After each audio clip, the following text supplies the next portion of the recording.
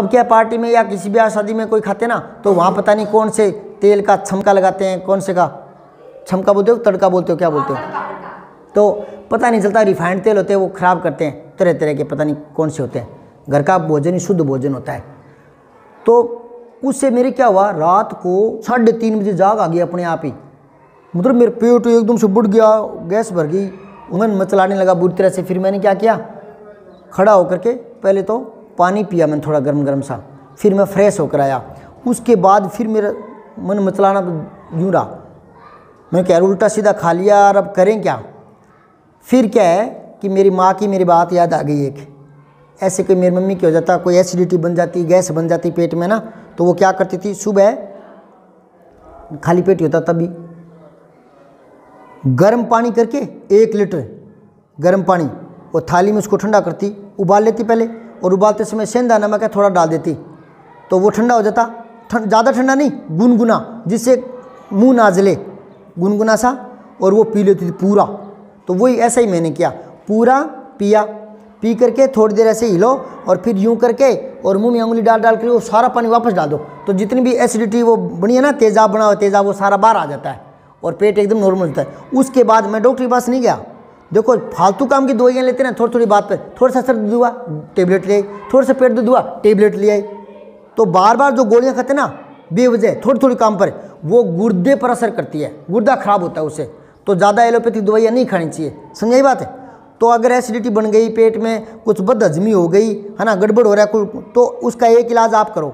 सबसे पहले बात तो आप क्या करो, गर्म पानी करो, उसको पी लो, थोड़ा ठंडा करके उसके बाद मुँह में अंगुल डाल करके वो सारा पानी डाल दो, नीचे।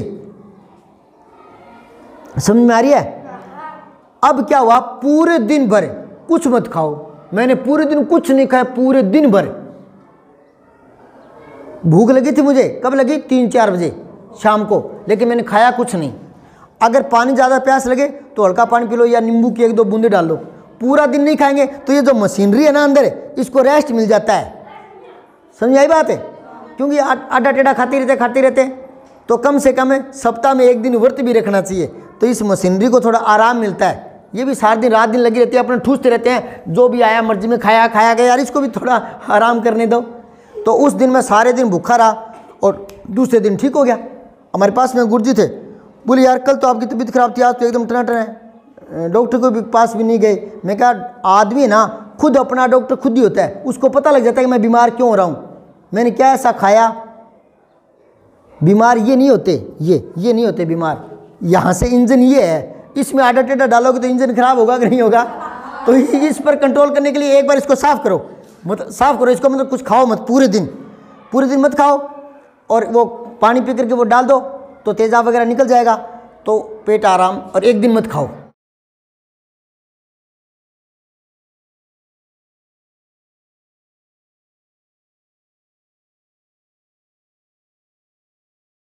उस दिन जिस दिन बीमार हो समझ में आई बात है?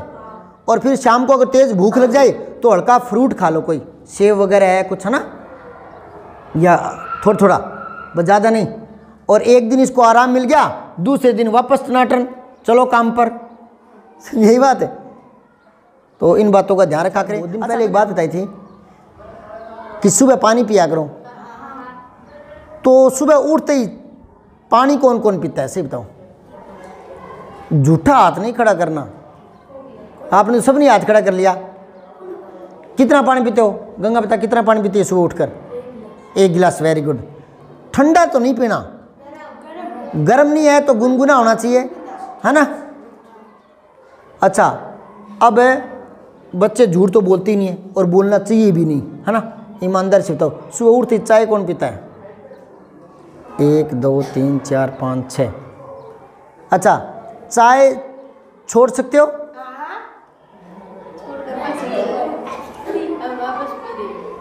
नहीं। अच्छा तीन महीने छोड़ के फिर वापस शुरू क्यों की दो साल हो गए, सही है। चाय पीनी नहीं चाहिए। मैंने आपको एक दिन बताया था, चाय में ना कोई विटामिन, प्रोटीन खरीज लवण कुछ नहीं होता चाय में, जो शरीर के काम आए, है ना? समझ बात? उसकी जगह तो पानी पी लो और इतना पानी पी लो कि फिर चाय की इच्छा ही नहीं होगी। अगर दो गिलास पी लेते ना पानी तो चाय की इच्छा ही नहीं आती। और शुरू में ऐसी आदत डालोगे ना तो ये आदतें ना जल्दी से छूटती नहीं है। गंदी आदत जल्दी छूटती नहीं है।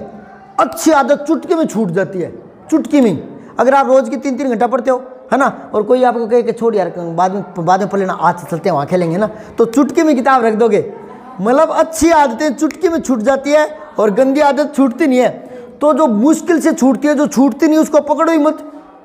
ऐ, चाय, नहीं, तू बाद में छूटेगी नहीं, चल हट। तुझे क्यों पकड़ू? तू छूटती नहीं है। सुन यही बात तो गंदी आदत पकड़ो ही मत। गंदी आदत?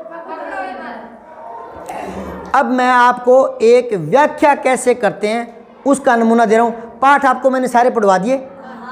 सिलेबस पूरा हो गया। अब आपको एक कविता, चलो मैं करवा दूँगा वो। एक कविता आपको मैं व्याख्या करवा रहा हूँ। हालाँकि आपके तो सिंपल तरीके से सरलार्थ लिख दोगे ना तो भी काम आ जाएगा। ठीक है? लेकिन बड़ी कक्षाओं में व्याख्या ढंग से लिखनी पड़ती है, उसको चार भागों में बांट कर लिखना पड़ता है। तो वही व्याख्या चार भागों में कैसे लिखते हैं, वो मैं आपको बता रहा हूँ। ठीक है? सब्सक्राइब करके बेल आइकन ज़रूर दबाएँ।